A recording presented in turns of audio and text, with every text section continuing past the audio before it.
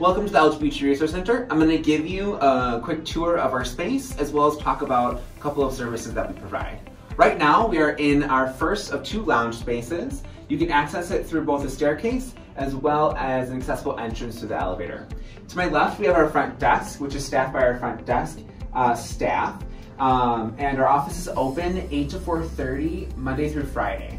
Um, you can access specific resources directly from our staff, um, but you can also set up one-on-ones with the director as well as graduate staff and interns and additional staff in case you need that one-on-one interaction and resources directly from um, them. You can also access uh, grab and go resources, which includes some of our pronoun stickers here, and on the wall, some pamphlets for both on and off campus resources. You can also uh, grab up some kind of free contraceptives as well as menstrual products provided by the LGBT Resource Center. Over this direction, we have our office space for our director, which is myself.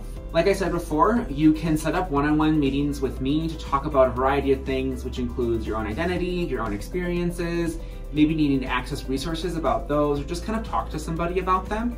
You can also access crisis resources through me, and I can connect you to both on and off-campus uh, resources um, here at St. Cloud State or within the St. Cloud community.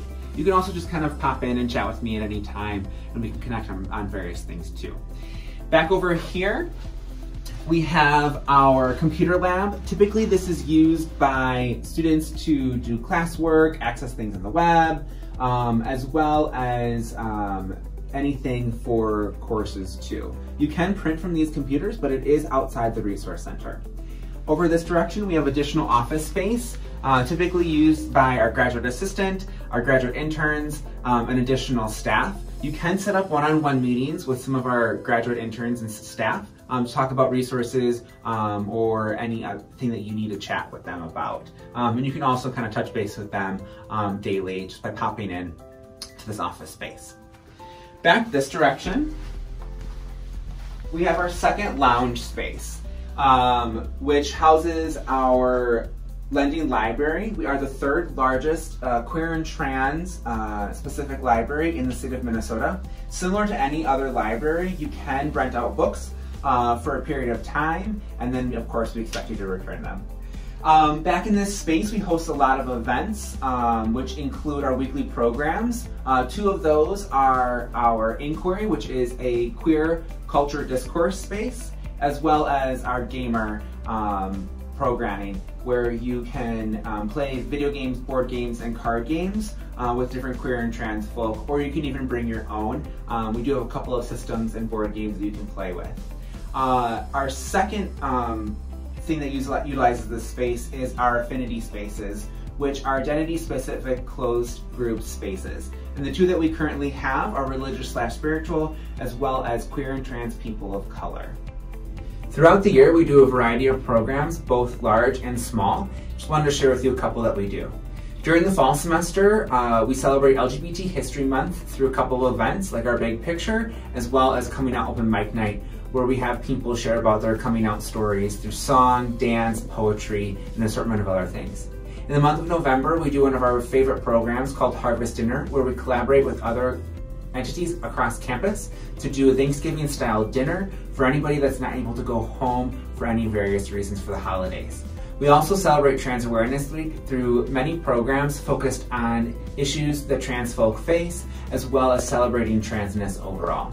During the spring semester, one of our favorite programs is Out Proud Week, where we do a variety of programs focused about celebrating the identities and the experiences of LGBTQ plus people, as well as um, bringing awareness around some of the great things that LGBTQ plus people have done throughout history. We also like to celebrate people for the work that they've done. So we have our Pride Awards and Library graduation at the end of the spring semester to celebrate people who have done LGBTQ work on and off campus, as well as our LGBTQ graduates for Lavender graduation for the spring semester, as well as the upcoming fall semester. Throughout the year, besides our large programs, we do tons of smaller programs. And to learn more about everything, um, please follow us on our social media on Instagram, Twitter, and Facebook, as well as check out our website for any updates that we have.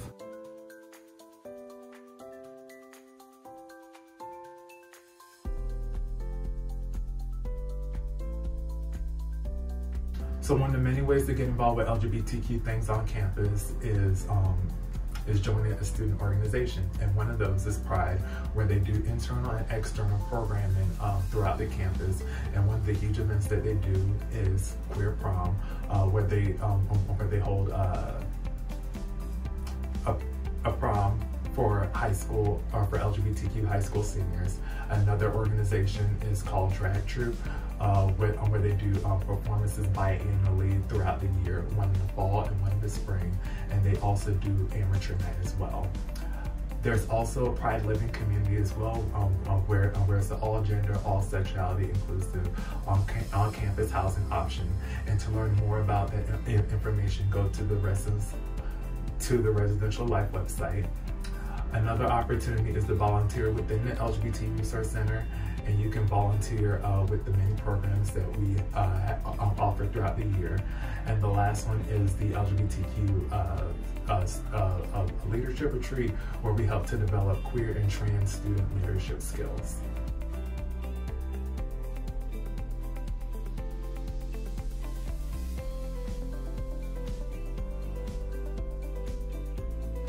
Educate about LGBT plus issues, the LGBT Resource Center has two educational programs that we do. The first one is called Safe Space Training, which we provide three trainings per semester to help individuals be better advocates for the LGBT plus community. So not only do they learn about the coming out process as well as coming into one's identity, but also how to use skills of advocacy to support LGBTQ people in their family, in their amongst their peers, as well in the, as in the work that they do. The second educational piece that we have is our speaker workshop request. So you might see us actually come into your classroom and talk about a variety of LGBTQ topics, ranging from LGBTQ terminology to LGBTQ history and current issues within the LGBTQ community.